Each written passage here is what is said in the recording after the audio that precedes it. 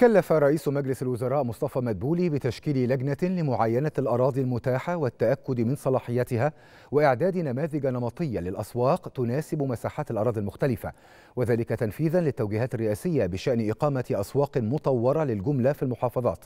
جاء ذلك خلال اجتماعه بعدد من الوزراء والمسؤولين لمتابعة تنفيذ توجيهات الرئيس السيسي بإقامة أسواق مطورة للجملة كما كلف مدبولي بالعمل على سرعة تنفيذ التوجيهات الرئاسية في هذا الشأن ومتابعة جميع الخطوات التنفيذية بصفة مستمرة.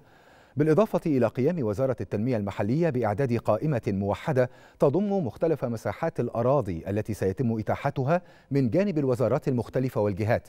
إلى جانب إعداد نماذج نمطية تناسب أنواع المساحات التي يتم إتاحتها.